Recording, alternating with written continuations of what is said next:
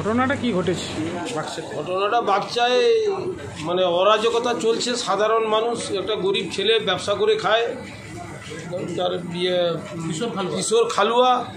তাকে আহ, বিয়ে- মানে বিজেপির মানে মানে ছেলেরা মেয়েরে পিটে তাকে গোড়া গোড়ামহালে গিয়ে ফেলে দিয়েছে। গোড়া আমাদের তৃণমূল কংগ্রেসের গোড়া গোড়ামহালে কেউ নেই ওখানে সব তো ঘর ছাড়া হয়ে পড়ে আছে ঘর ছাড়া হয়ে বসে আছে আর একটা সাধারণ ছেলেকে নিয়ে গিয়ে গিয়ে গোড়ামহালে গিয়ে ওখানে মেরে অবস্থা অবস্থা তার আশঙ্কাজনক। প্রশাসনকে বলব, যদি ওই দুষ্কৃতীদেরকে যদি এলাকা থেকে এলাকা ছাড়া না করে, তবে আর ভালো মানুষ ওই বাচ্চা গ্রাম পঞ্চায়েতে কেউ থাকতে পারবে নি।